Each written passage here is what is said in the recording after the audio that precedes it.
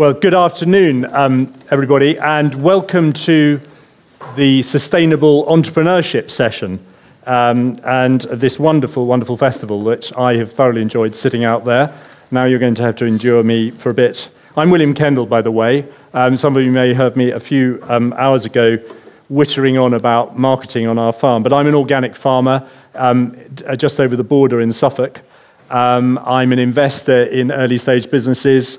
And I previously sort of got to learn about early stage businesses by running New Covent Garden Soup Company, Green and Blacks, and more recently, um, Press. Um, and on sustainable entrepreneurship, I, I, frequently deny being an entrepreneur. And I've had this horrific moment in the green room with uh, these two wonderful entrepreneurs, as I thought, and they both deny being entrepreneurs as well. So if you want to if you want to uh, leave at this moment. Uh, but, but we're going to do our best. But I thought we would actually discuss a bit about entrepreneurship if we're, if we're allowed. But anyway, um, I have worked with some amazing entrepreneurs. And just on the sustainability bit, just to get a plug in, um, Green and Blacks was the first ever fair trade product uh, company in the UK. It sold the first ever fair trade. Anyway, as my wife would say, and she is in the audience, it's not about you. Uh, and as she does say frequently. so we've, we've got over that bit. Um, Tom Barton. Uh, Tom, and I've, I've, got a wonderful script, but uh, Tom is the man or one of the men behind uh, Honest Burgers. And if you haven't been to Honest Burgers, you're, you're losing out. But he and his partners co founded Honest Burgers fresh out of university in 2011 after selling burgers at festivals. They managed to open their first restaurant in Brixton on less than a shoestring of £7,500, which sounds improbable, but there we go. I, I heard him say it the other day, and I'm sure it's true through a combination of gumption, zeitgeist, and early rave reviews. Must be the zeitgeist. Their homemade burgers landed on the gastronomic map of London with a boom. Fast forward to now, and Honest Burgers now boasts 44 outlets all over the UK. True to its founding ethos of trying a bit harder than everybody else, Honest Burgers is now in the midst of reconfiguring its supply chain in order to make their burgers more, more sustainable. Josiah Meldrum, my neighbour in Suffolk, Josiah and the company he co founded in East Anglia in 2012, Hodmedod's, are at the forefront of making British farming more sustainable. Working with about 25 farmers around the UK to retail and wholesale beans and pulses to the hospitality and grocery industry, in addition to selling its own brand products online. Hodmedod's benefits its network of farmers in two crucial ways. As an agronomist assisting farmers to produce new crops to British soils, and as a successful brand vouchsafing the traceability of its products. The latter allows Hodmedod's products to command a premium price in the consumer marketplace. So, Josiah, um, you know, you were, you were working in the third sector and you decided to go into business. I mean, what was wrong with the third sector? Tell, tell us a bit about what got you going on all of this? Yeah, so we'd, we'd um, the, myself and the two founders of Hodmedod had been working for a small regional NGO called East Anglia Food Link. And we've been, we've been working for about a decade looking at food systems change, you know, everything from public procurement, food into schools and hospitals, through to community groups engaging with the production of their food. And um, we got really frustrated when we were engaging with local authorities and with MAFF and then DEFRA around policy change in this space and as an NGO, we didn't carry very much weight with the farmers we were talking to either. So we would go to a farm and say, you need to do X, Y, and Z, and that will, that will make your farm more resilient and more sustainable. And they would say, yeah, we know we need to do that, but who's going to buy it? Where's the policy that's going to support this process of change? And in 2012, really, we realized that actually the best way to affect that change would be to set up that route to market to demonstrate what change could look like to farmers and to consumers. And so we have we established Hodmedod as a small business to encourage the production of more protein crops in the UK. And we'd done a bit of research as the NGO, which had demonstrated that we need to eat less but better meat, and consequently more plant based proteins, and that the UK is actually very well placed to grow those. But we feed them to animals, and we don't have a tradition of eating them, and we're very low per capita pulse consumers in the UK. And so, really, the business was all about advocacy and telling that story. And certainly, when we would then go to farmers, instead of being a third sector organization with some good ideas, we were offering them an opportunity to actually engage with the supply chain. And that's what allowed us to begin to create that change. Mm-hmm. So, I mean, I like to think, when, when I come under attack from my friends who are doing worthier things than me, uh, and say, you know you're just a business business person. I you know I I have, I have this sort of dream that business actually is rather an effective method of, of affecting change. And you know you can go into politics and you can go into charity and all mm. very good, but actually business can be very very effective. And it sounds like you've done that.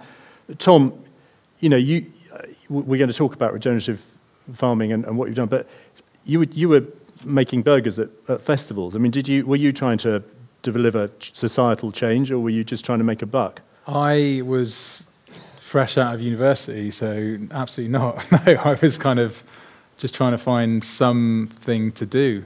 Um, when when I set up Honest um, with with a, my mate who also was down in Brighton. So yeah, for me, my now wife gave me a little bit of a kick up the arse, saying, you know, I need you to need to have a bit of drive and a bit of a career path. So no, absolutely no aspirations to, to grow a business into what it's become. Um, we, we kind of stumbled into that after we opened our first site. So what happened? I mean, you know, but you are, and, and, and you know, what, there's, there's been a big change. I mean, I, I, I read something or, or saw you um, online talking about your first big break with the restaurant in, in Brixton. Yeah.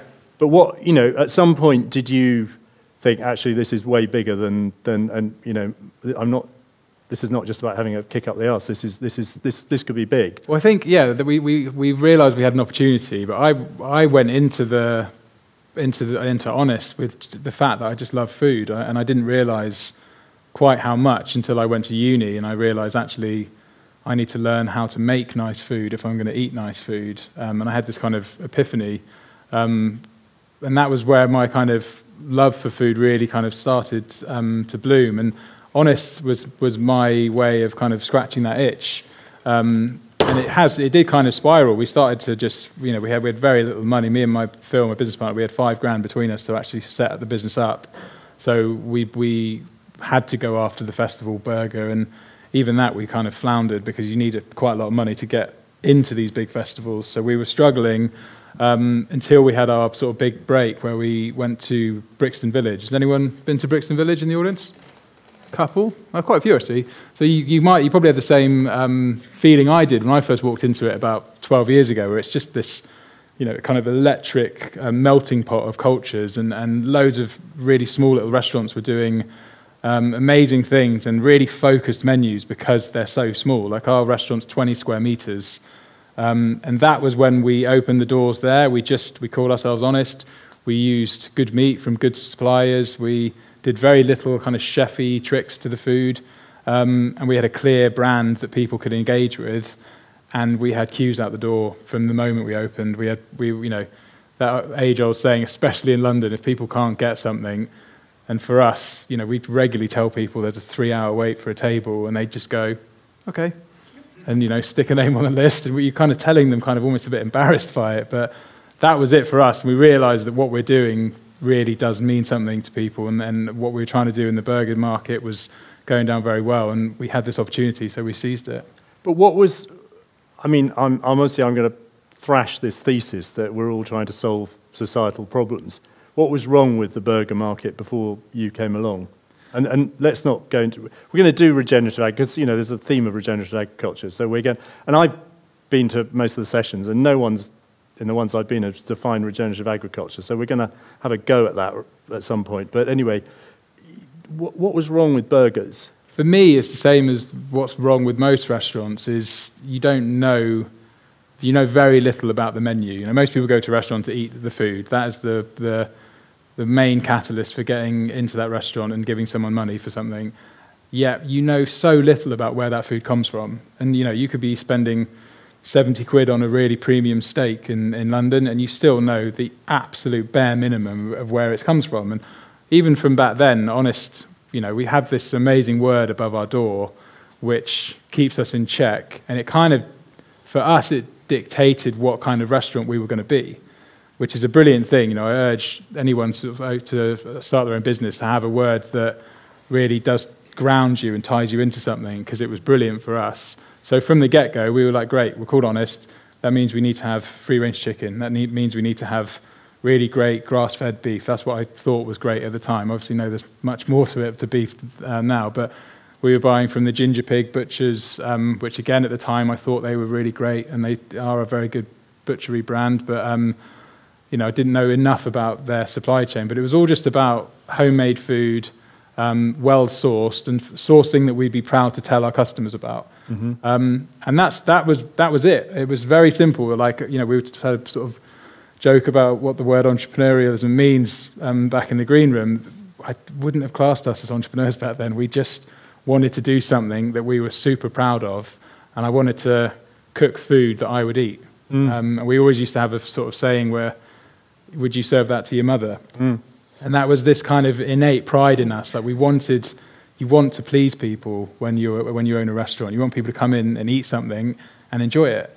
That was our goal. And you know, other restaurant concepts, they don't have that feeling, or they don't yeah. have that desire. They just want to get your data or get your email address or you know just convert you to eating three times a week with them for us it was very simple good food good service repeat customer it's really interesting the mother we used to say at covent garden soup would you serve this to your friends for supper tonight and when we started you know going to the supermarkets they said well that's a terrible how you know how do you know your friends are well we know who our friends are and, and you know so sometimes the sometimes the emulsifier wouldn't work on the on the vessel, and so the carrot and coriander was chunky carrot and coriander. They said, and we said, oh, we sell that because it's still perfectly good. That's what happens in the kitchen. Yeah. Sainsbury's were appalled by that. You know, the how, you know, we're not going to list you if you might mm. put chunky when it says it's it's smooth. Yeah, I know it's it's a lot wrong, isn't it? It's a lot wrong. it, yeah. So Hodmedod's, I, I remember. I mean, obviously, I've known Hodmedod's since nearly the beginning because we live down the road and, and we farm and, and work with you. Or we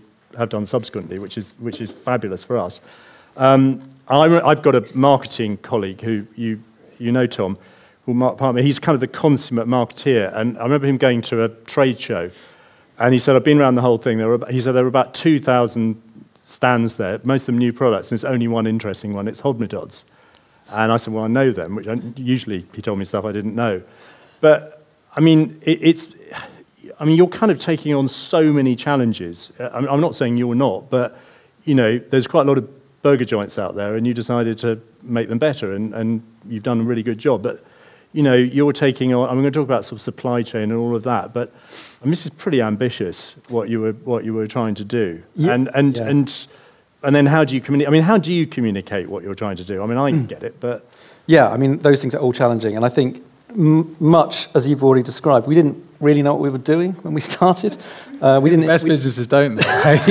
and we and because we had no experience with what it was that we were proposing to do, we didn't realise what the complexities were. And I think if we'd have known, and, and a lot of startup businesses and older businesses say the same thing. If we'd have known at the beginning that this is what it was going to be like, we probably wouldn't have started. Because, but as it was, we did start, and we overcame those challenges. And those challenges were really the process of decommodifying a lot of the a lot of the crops that are being grown in the UK. You know, they're grown in large volumes. They're completely anonymous. We don't know when we eat a loaf of bread. We might know who the baker was if we're lucky, but we are very unlikely to know who the farmer was that grew the wheat that was in that bread.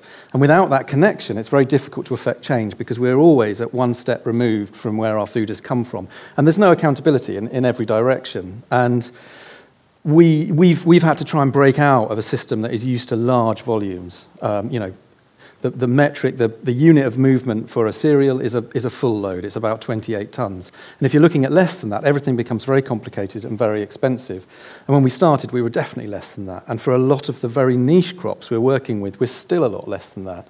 Um, John Pawsey, who was, who was speaking earlier, you know, grows lentils for us, and last year was his first lentil year with us, and he grew five tons. That's an absolute supply chain nightmare to handle because no one wants to handle it within the commodity chain. They don't want to move it, they don't want to clean it, um, and the whole thing, you know, involves an awful lot more effort. But at the end of it, we have something that tells a really immediate story about change on John's farm and, and how we've supported that change and how our customers can engage with that change process. So, so where we have a very small quantity of something like that with that very, very clear provenance, we'll put it on our website and it will sell in half an hour. And, and we'll sell out. And again, for the supermarket, that's appalling. You mean you have got, not got continuity of supply on John Pawsey's special organic lentils? No.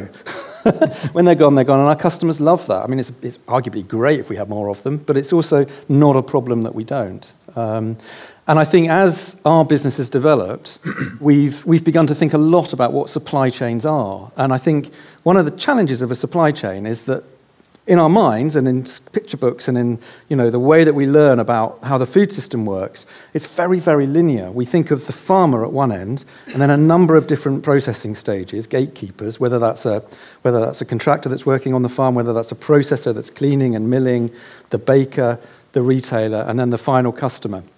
And there's not really a flow of information in that, or if there is, it's, it's managed by one of those gatekeepers, usually the retailer. And often they want to obfuscate. They want to, they want to make sure that you don't know where that steak has come from because that might raise some difficult questions. And what we've sort of developed is a, is a completely different model and way of thinking about engaging with the, with the supply system, and that's to think of it as a network with nodes and that we are one of those nodes, but there should be tr- complete transparency between all of the other actors in the supply system. So whether that's a, a customer, and of course we're all customers, um, whether that's a researcher working for an academic institution that's helping us with agronomy and seed work, whether that's um, a retailer or caterer that's using our ingredients, we want them to know where the farm is. We want them to be able to go and visit that farm and see that crop growing so they can engage with that process uh, whether it's a food writer or a journalist, or whether it's the policy uh, frame that we might be engaging in in an advocacy sense. And the thing that we've realized is that, you know, we're not politicians either, but we've realized that food is politics with a very, very small p, because we're all engaged in eating. It brings us together. It allows us to have conversations about how we're living in our communities and what we want those communities to look like and how the environment should look and how the landscape should look and how our health and well-being should, should look. So by engaging in those conversations through food, we can begin a very political conversation about social change. And all we do is sell beans and peas. You know, and I hmm. think, I think that's really, really exciting. And that is, you're absolutely right. Business is that lever for social change, even, even unintended. You only need to make often very small changes to your business in order to affect huge changes in people's lives and potentially policy. But there's, there's a lot of reinvention going on here, which is, is, is really hard work, and, and you are trying to run a profitable business. I mean, I'm trying to work out, you know, what point, you know, are you in any supermarkets? Uh, not at the moment, no. You, so, okay, so you answered my question. Do you want to be?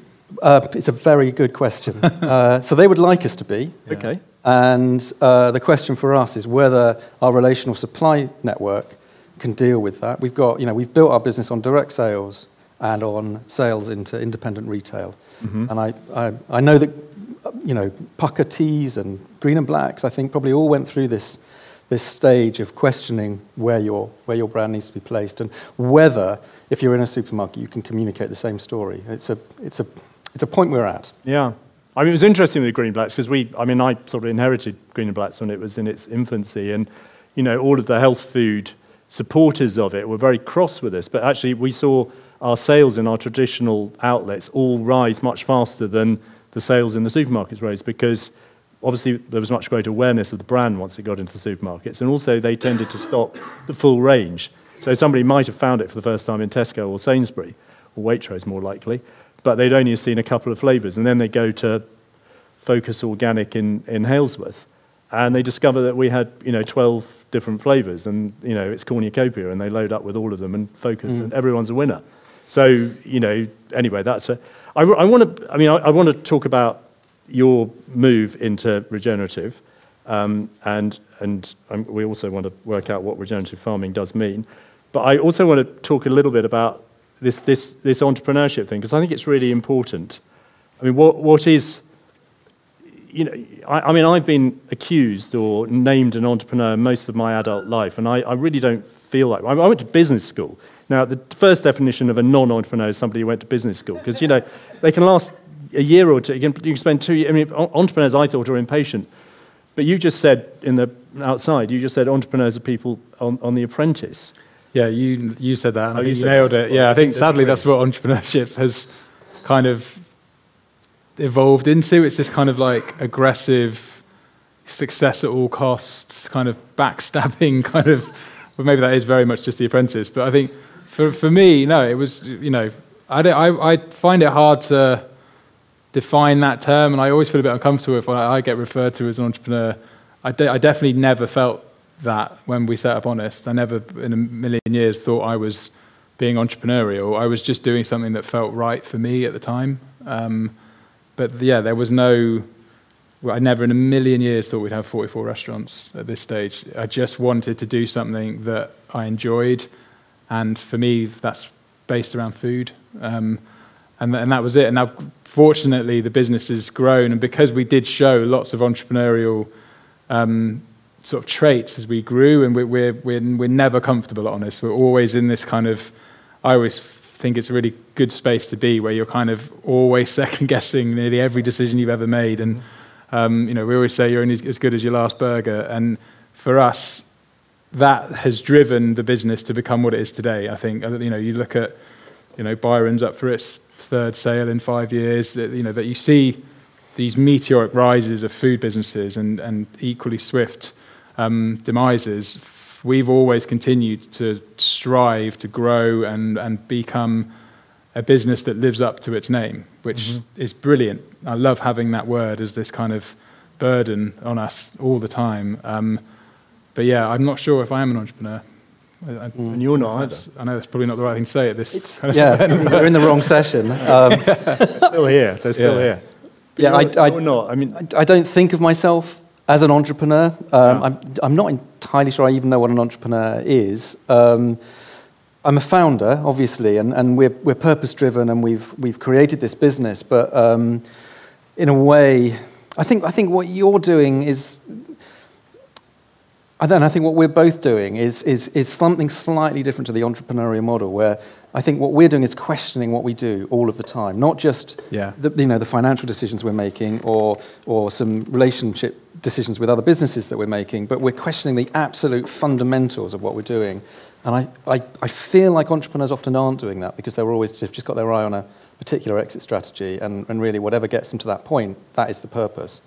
But it's, it's, you know, it's problematic. I mean, in one sense, you say, well, why are they talking about all this? But it's, you know, The Apprentice has apparently done amazing things for getting younger people to start up and do stuff. And, and God, we need that in, in, in the UK economy. Mm. So, you know, if The Apprentice is doing a great job encouraging people to, to, to set up businesses which might possibly solve societal yeah. problems. I mean, if you're setting up a business now that isn't solving a societal problem, you're probably not going to have any customers. So, yeah. so that's a, you know, that has to be a good thing. And yet, they're being taught that the best way of operating is to stab each other in the back. And, you know, and, and, the, and the catchphrase is you're fired, which, by the way, I, to me is the sort of biggest sign of failure in any business. you ever have to say that. So, you know, how do we, how do we articulate this better? I mean, I, I think that we're all entrepreneurs, and I think the reason why people set up businesses is that they don't see a future for themselves in the environment that they're in. I mean, you were straight out of university, I'd been working in an investment bank, and it was a perfectly nice investment bank, but I wasn't allowed anywhere near the decision making process because I was a 27 year old incompetent. and so I had to go somewhere where I was allowed to be involved in the decision making process. And I think we all want to be involved one way or another in the decision making process. A lot of us are conditioned not to consider doing that at work. And so we do it at home. We do crazy things like move house and we take you know huge capital decisions. We, we book holidays we do you know we change well we used to change energy supply now you can't do it. But you know those sorts of things um, that, that's entrepreneurial i think. Mm. i've definitely found because I, I, speak to a lot of very young businesses like i've, I've had chats with 18 19 year olds who are looking to go into the food space now which is amazing that it's so accessible for people to you know the rise of street food and things like that. You can set up your own business for less than 10 grand. It's, it's brilliant. Um, and the, the theme that I always get from these young, sort of aspiring business people is they just expect, and maybe it's this kind of halo around the word entrepreneur, they expect everyone has all the answers like they were just born with them. And like there aren't multiple circumstances when we set up Honest where we had absolutely no idea what we were doing. Yeah. And you're and you know you you, you forecast what a restaurant's going to do, and you're literally just like that. Mm. And and I think a lot of the people I speak to, they they almost talk themselves out of doing something because they don't think they have the right skills because they think you you need these kind of almost ethereal skills, you know, like skills that you you won't you you you're like I said you're this innate ability to just have them, and you mm. don't. You just have to just crack on. Um, and get on with it. And I think maybe that's maybe that's the entrepreneurial kind of switch where you do just get on with something. Mm. Um, you don't talk yourself out of it. You maybe that's because you're more risk averse or less risk averse. I don't know, but I co- I constantly see people who seem to just not be prepared to make that proper sort of final stage. um, into setting something up because they're just worried they don't have the right skill set. Have any of your restaurants, you've got 40 restaurants, have any of them failed? I mean, have you, have you closed No, them down? not yet, touch wood. But, Well, I mean, you know, it's, do now, pretty, it's it's a pretty shit year for restaurants, Yeah. right? So um, I'm not sure if I'll be saying that at the end of this year. But no, so far we haven't closed. Actually, no, that's a lie. We did close a dark kitchen in Croydon, but that was it. That's But a lot of people say, and I certainly say this, I've learnt more from my failures. So when these young Yeah. people talk to you, do they, are, you know, I mean, that, that would be the question I'd say. Well tell, well, tell us, tell us about your failures. I mean, you haven't, you haven't got a failure, you've got a hugely successful I've got business. Millions of personal failures, but not the. Of, but I you think don't need to hear about those. well, no, but I know. I think you should because I think Okay, your well- personal development is, you know, if, if if your personal experience and development isn't going well, likely your businesses are going to suffer, right? And for for us as a business, you know, I was sort of thrown into Honest at a very young age to try and act like a mature business owner when you're 25 or 26 is, you know, nigh on impossible. So I had a bit of growing up to do. Um, but yeah, I mean, I, I totally agree with you. Like we, we say, honest, it's only a mistake if you make it twice. Um, and I love our mistakes. I love, I love it when our people own their mistakes, and I cannot stand it when people try and cover up their mistakes. I think that's probably one of my least liked traits in someone, where they just try and sweep something under the carpet. Um, so we embrace them, but um, but yeah, I think a business businesses are founded on mistakes. I'd probably say Yeah. learning from them. Well, I mean, what about you? I mean, you know fundamentally you're still going, so Well, yeah, we're still going, but I mean, you know, we've had crops that failed and relationships that haven't gone as well as they should do. You know, despite all the talk of a relational supply chain, sometimes things go wrong. Um, and I think, I think, sort of thinking about you can't take credit. You can't, you know, if you, the crop fails, you're not going to beat yourself up about that. No, we are if you've told the farmer to grow it, and it'll be fine. I see, yeah. uh, you know, that's difficult. You know, and those things can be difficult negotiations to go through. And I'm thinking, as you were both talking about what entrepreneurialism, I wonder if part of it is an openness and a willingness to try something.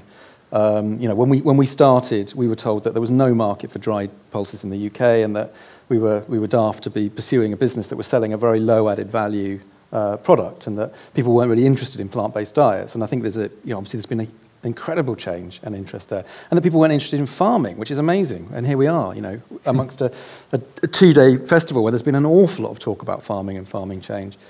Um, but um, yeah, so I think it's that, that openness, but also, and I think this is the thing that, that possibly is often missing from those shows like The Apprentice, is that the thing that breeds success is really asking questions, but then working out who's got the answers and going and finding them and talking to them and collaborating them with them and very open to their ideas. And, you know, we have people, smaller businesses that, that similarly phone up and talk to us, and, and we tell them immediately what things that they really shouldn't do because we've done them and they shouldn't repeat them. Um, So much more interesting, the failures. yeah. I mean, that's the book. That's the, that's the entrepreneur's book that no one ever writes. But I mean, God, not another success story. I mean, who wants to read? Well, Yeah. everyone seems to read, want to read them. But I mean, God, my, my failure book is, I mean, it's just getting longer and longer.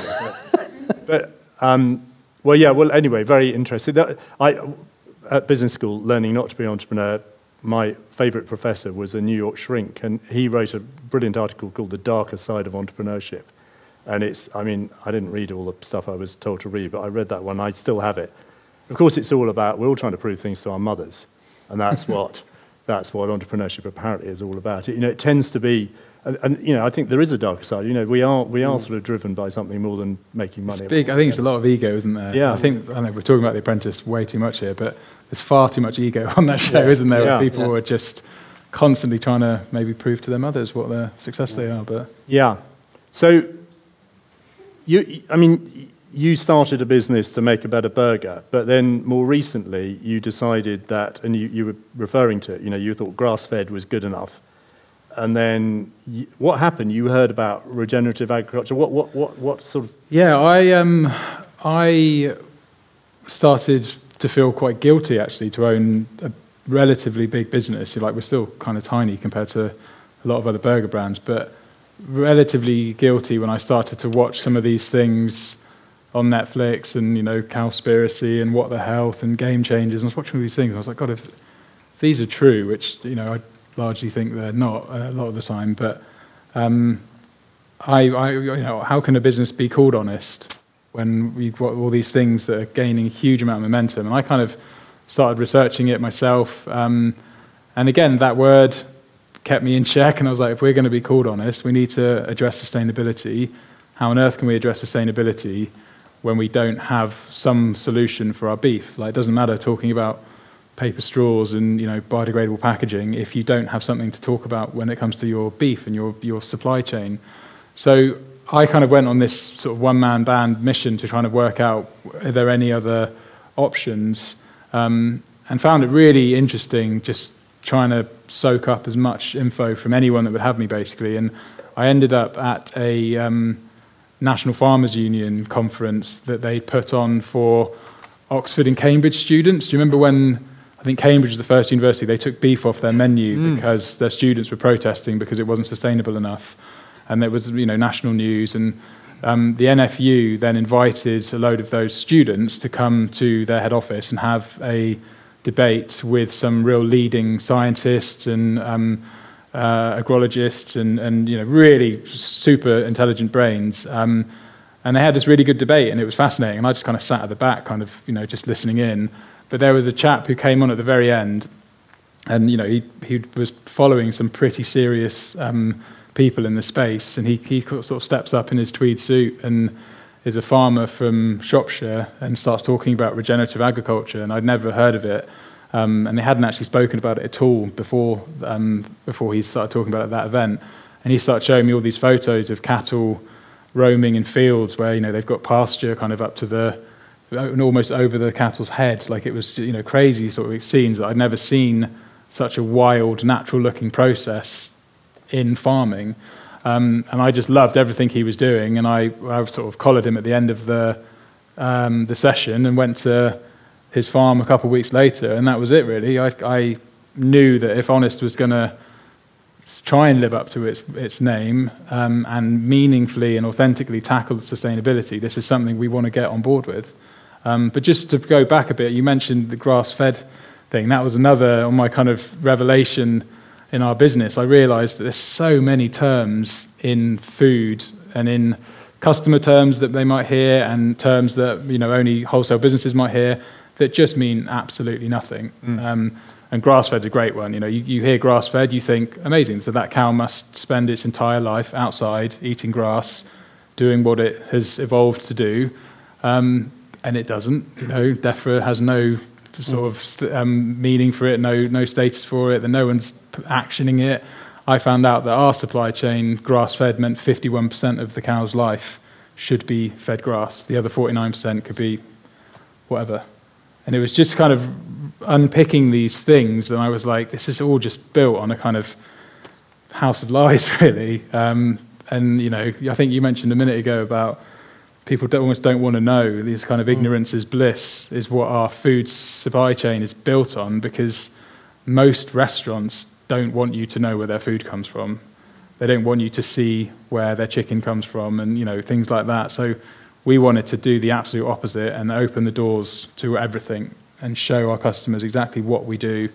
Um, and that was it really. That was that was sort of that was just before the pandemic hit. So I was getting a lot of momentum and it was going mm. really nicely. And then pa- pandemic came along and knocked everything for six. So delayed it a little bit. And but now we are where we are. And we're so what? So where are you now? I mean, so so Josiah was telling us about you know suboptimal lots. John pauses lentils in five tons when lorries are 25 tons. So you know you've got 40 restaurants.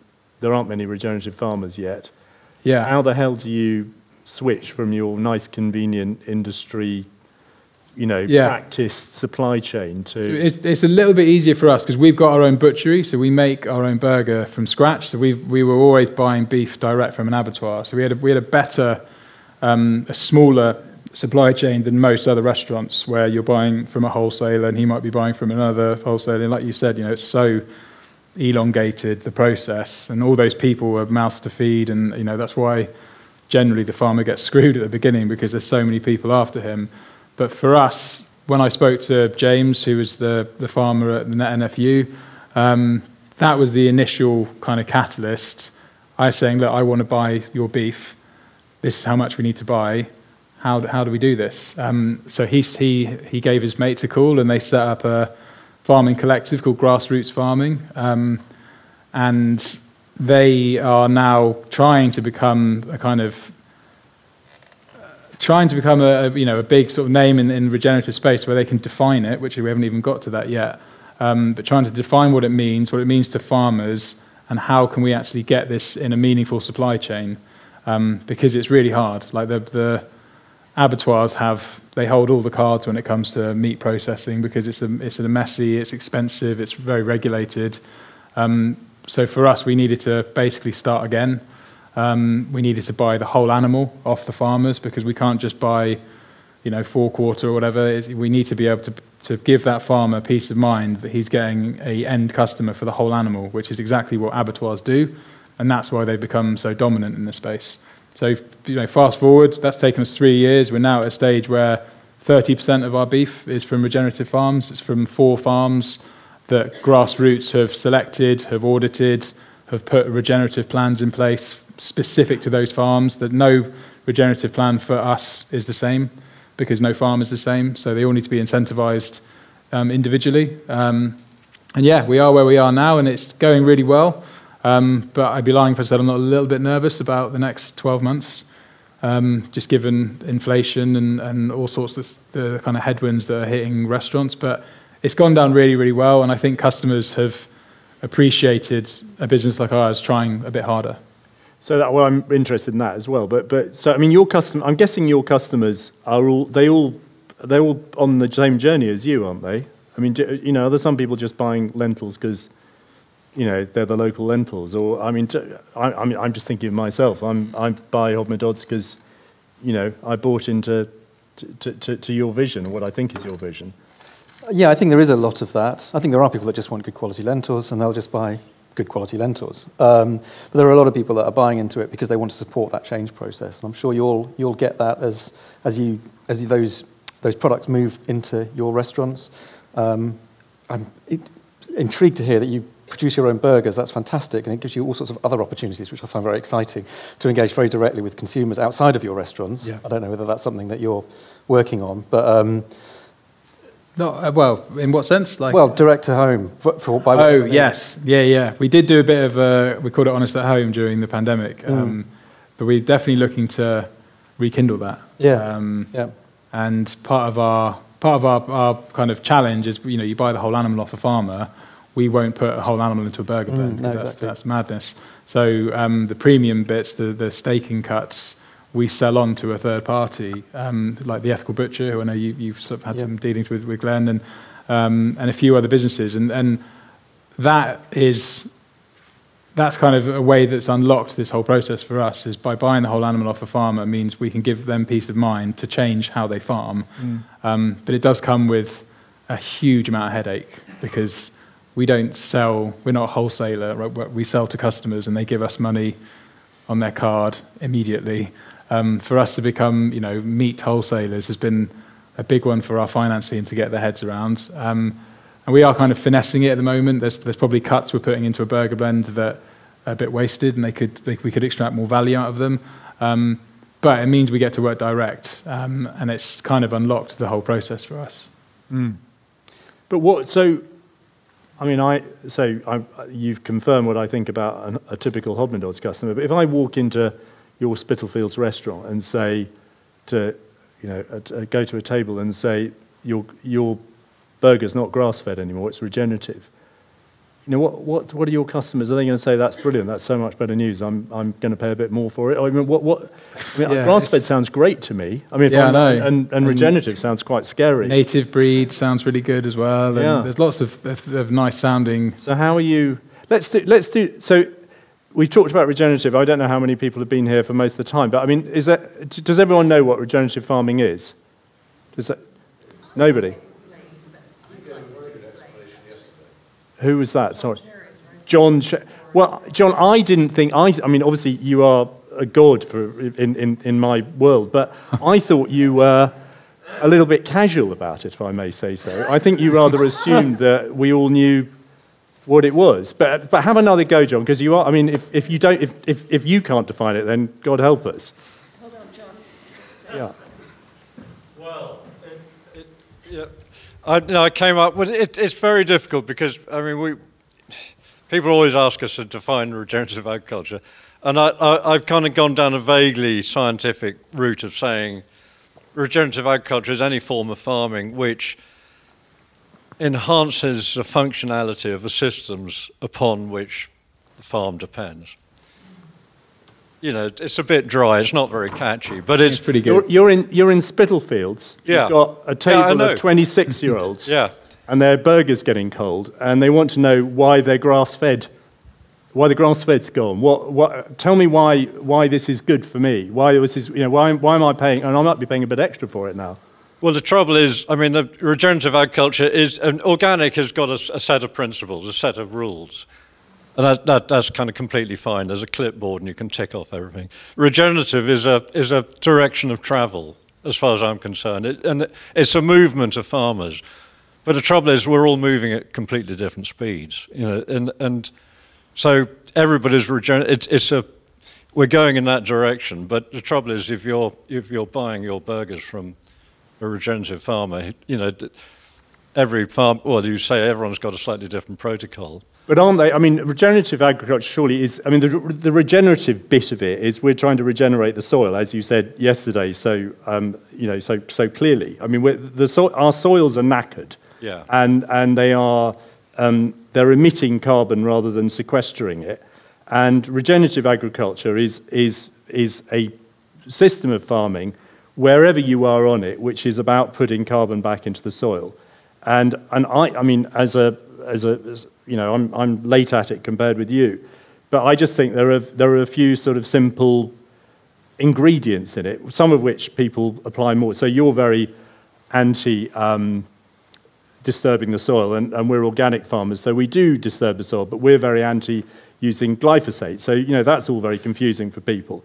But I, I, I understand it is it's having something growing on the soil the whole time, so keeping the soil covered the whole time, minimal disturbance, lives having livestock on it. Thank But it's God really hard though because you, you say any one of those things to a 20 year old in an Icebergers restaurant, like what's the problem with with uh, with with disturbing soil? Like why Yeah. why what's cover crops? Why do we need to do this thing? So we found it really difficult to. to Well, that's what I was articulate. the. Um, yeah, and the, the, the way we launched it was with this book um, on our tables called "Could Do Better," um, and it's 32 pages. That obviously, you know, n- not that sounds like it's a proper book, but it's like it's this. It's an A6, um, and it's lots of photos and lots of diagrams, things like that. But it's a read. Like you, you've got to be involved and you've got to get stuck into it. And you know, sometimes you just want a burger. Sometimes, sometimes our customers don't care. They just want to come and have a nice meal.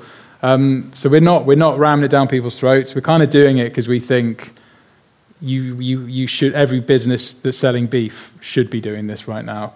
Um, I think you're motivated by internally about the change process. Yeah. You hope to bring your customers along, but you haven't got time to explain that full story. And I think it's a, it's a problem that regenerative farmers really face in that no one knows what it is, it's impossible to communicate, and there are a lot of big businesses that are going to jump on that bandwagon and do regenerative light, and the whole thing is going to be devalued. And, And greenwashed as well, We right? deal with Yeah. customers on the phone a lot because we do a lot of direct to home, and so we have a lot of phone calls coming in, and, farm, and customers will say to us, you know, I am interested in those lentils, whatever, and they might be, we support a lot of farmers that are on a, on a change process, on that regenerative journey, and they might not be organic, might not have any certification, they might be very early in that story.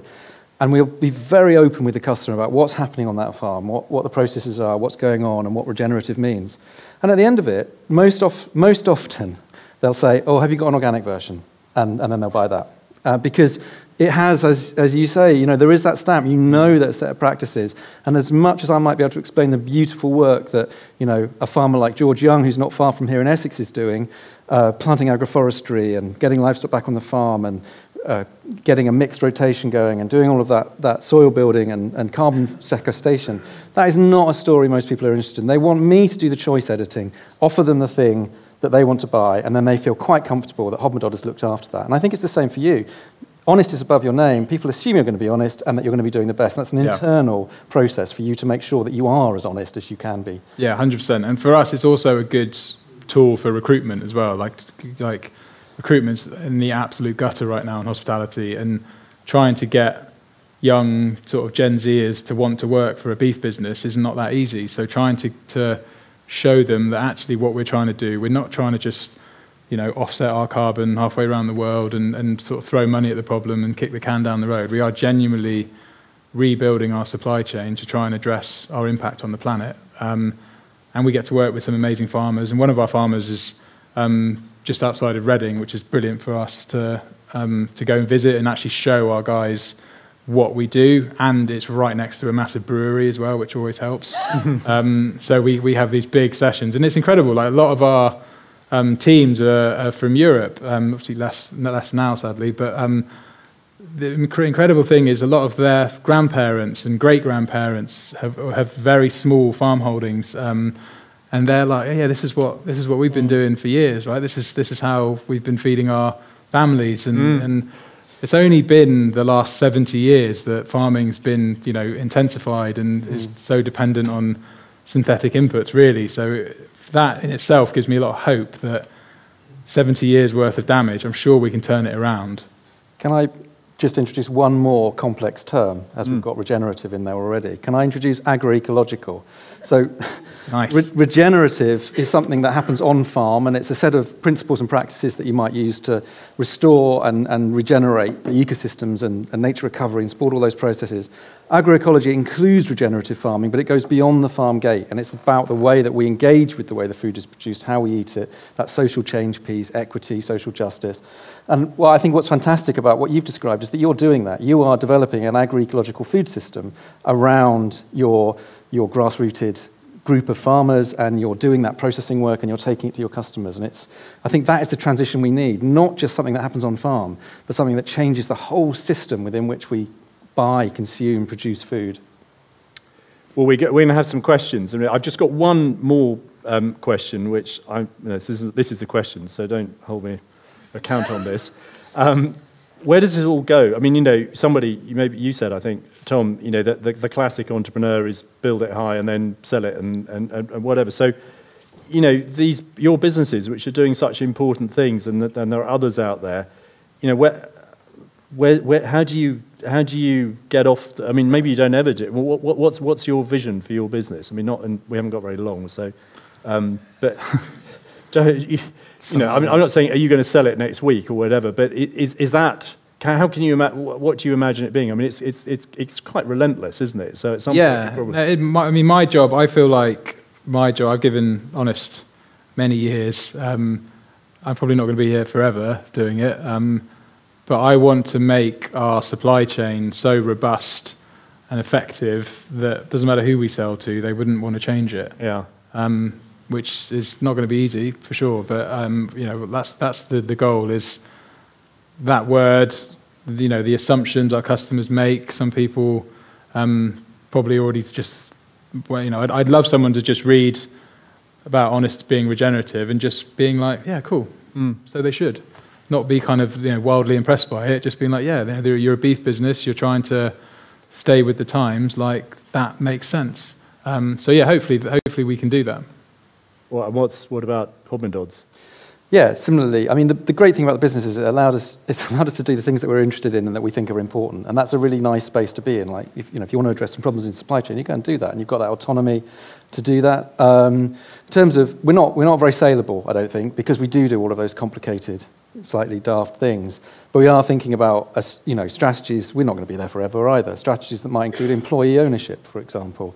Um, we're, we are just in the process of incorporating a community interest company to sit alongside the business. So we're sort of going back to the NGO piece so we can, we can separate the advocacy work we're doing, which gives us some clarity in our own minds, but also allows us to have wider impact. And I think there's, there's all sorts of different ways of approaching that, that longevity of the business. We don't want it to disappear. I'm sure you feel the same. You know, you put 10 years, 12 years of, of really hard work into making something really difficult happen, and you want someone to pick that up and continue to do that difficult thing. mm, yeah. Well, I've sold two brands I love, and I'm not sure of either of them. initially, we took great care to make sure they were sold to the right people who, who genuinely wanted to, but you can't predict the future. I mean, we mm. sold to Cadbury's, who, who were a great company. Um, and they had great aspirations, and I think they were going to make us even more fair trade, and well, they did, and even more organic if you could do. Then, then, but then, you know, a big bad American company came along and hoovered them up, and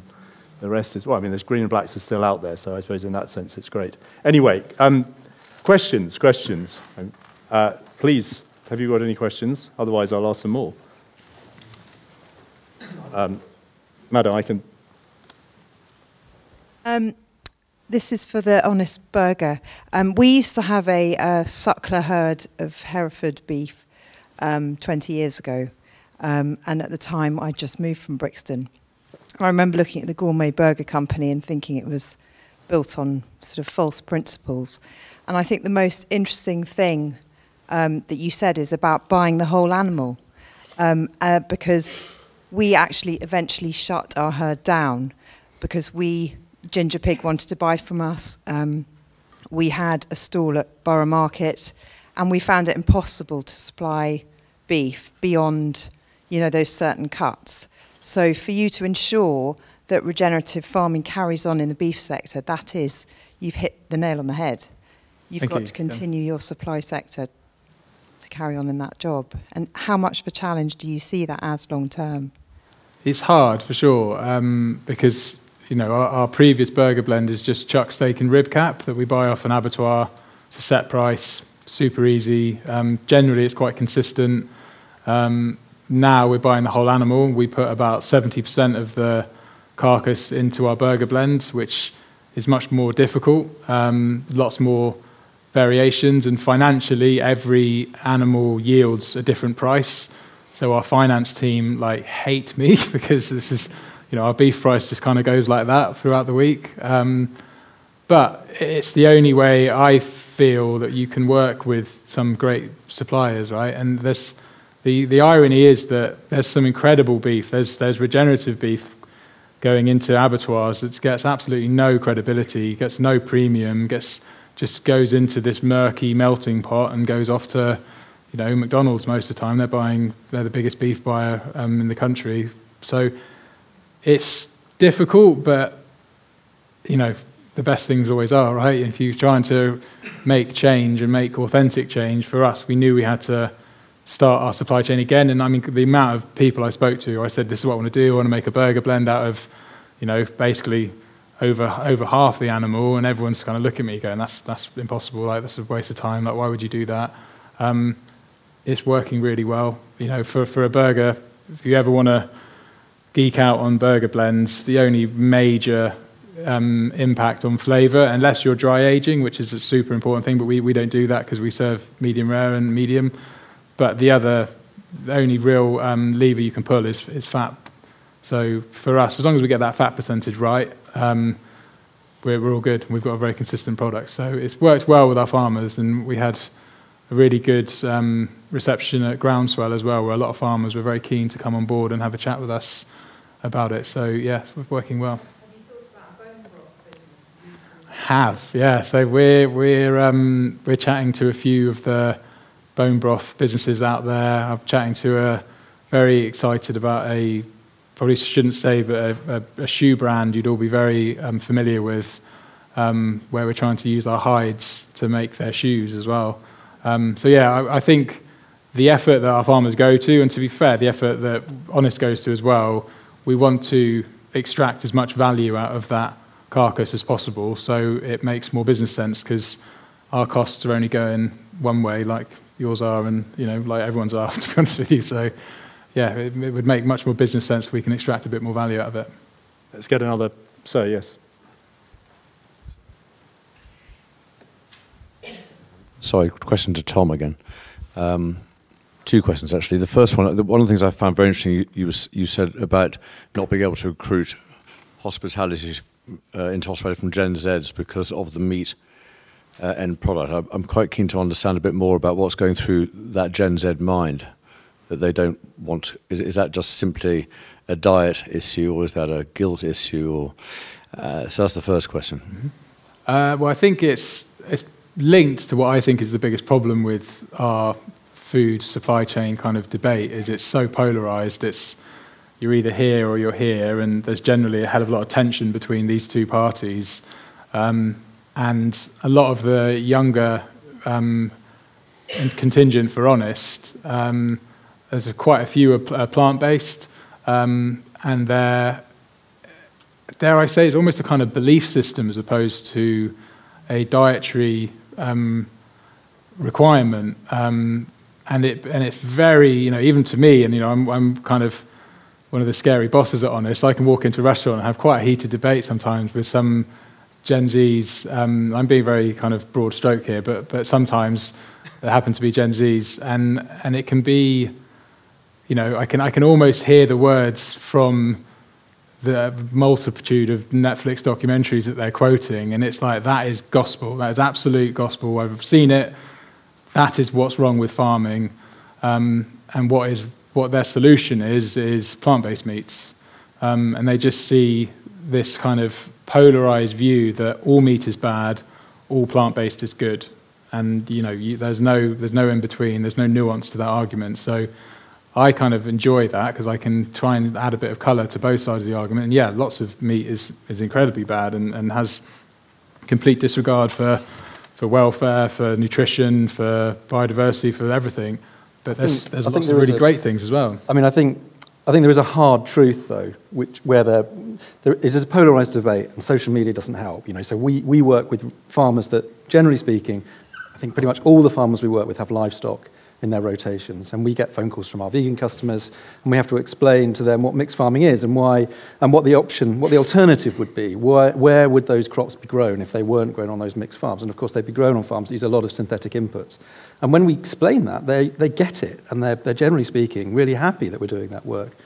But at the root of it, and, uh, and the work that we did in the, in the mid 2000s, really looking at this, and which Patrick Holden was talking about, his sort of recent work yesterday, is that we just need to eat an awful lot less meat because these regenerative systems, which produce fantastic quality meat in systems that are supporting biodiversity and nature recovery, actually produce very, very little meat. And we, we do need to kind of address that. And that nuanced conversation about where we buy our meat, who's produced it, and how much we can eat is a really difficult one to have. It's very difficult yeah. for you to have in your restaurant. And well, it's very difficult for us to have even here, right? And we've had an hour to chat about it, and we've barely scratched the surface. And I think I totally get the mentality of a young social media influenced person trying to do good in the world, it's been distilled down to a very simple sentence, which is don't eat meat. Yeah. And, and, and that's that, you know, I totally get that. It's a tweet, it's a headline, whatever it is, it's just completely digestible, it's very easily actionable. But if you're going to swap your meat based diet for a highly processed plant based meat diet and think you're doing your body the, the, or the planet a favour, then I think that's when you need to really look at the nuance. Now, if you're eating from this guy's Beans, food, yeah. then, then 100%, but you need skill, right? You need, you yeah. need I'm, I, I love food. It's hard cooking with pulses mm. and doing them, doing them well and, and adding flavour to them. And if you get it wrong, you might be like, cool, I'm never going to cook that again. Um, whereas soy-based chicken, you know, if, you're, if, you, if you eat chicken nuggets, Soy-based chicken nuggets about the same. We've got sorry. room for. Sorry, I know you're going to have two questions, but yeah, one one more question. Sorry, Sorry. last question. Yeah. The appeal of those those meat alternatives, you know, is, is to the sort of tech disruptors in Silicon Valley that see an IP opportunity to develop a business, and they're not really interested in food or systems. Yeah. And, and arguably, or flavour. Yeah, a, a, move from feedlot feedlot beef yeah, exactly. to monocultural soy. You know, it's, it's maybe an incremental improvement, but it's it's not really the change we need to see happening. So, it's it's more a point than a question. You at the start, you wondered whether you were entrepreneurs and didn't feel like them. I think uh, uh, the, the definition of entrepreneur is quite simple. It's somebody who is prepared to dedicate their time and risk their capital for an uncertain return in order to deliver their vision. And in that respect, I think both of you are entrepreneurs.